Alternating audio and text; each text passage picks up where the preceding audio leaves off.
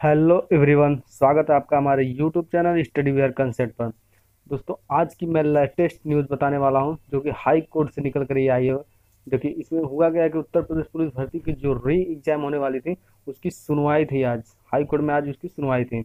But ऐसा कुछ नहीं हुआ है कि यहाँ पर जो भी सुनवाई होने वाली थी, उसके बारे में कोई सुनवाई नहीं हुई। और ये अंदाज़ा लगाया जा रहा है कि जो डेट आ चुका है, उसी डेट पर एग्ज़ाम कराया जाएगा ये। और इसमें कोई सुनवाई आगे नहीं होने वाली है। लोग बता रहे हैं कि आगे सुनवाई हो सकती है बट ऐसा कुछ नहीं है अभी।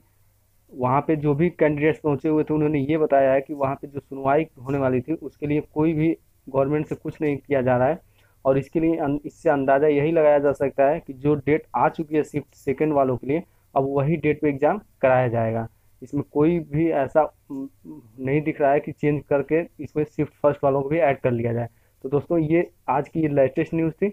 मैं बता दे रहा हूँ आप लोगों को तो आप लोगों को वीडियो पसंद आए तो लाइक कीजिएगा और कमेंट कीजिएगा और शेयर कीजिए अपने दोस्तों के साथ ताकि वो जो सेकेंड शिफ्ट के कैंडिडेट्स हैं वो अपनी तैयारी जारी रखें, क्योंकि डेट अब बदलने की बहुत ही कम संभावना है।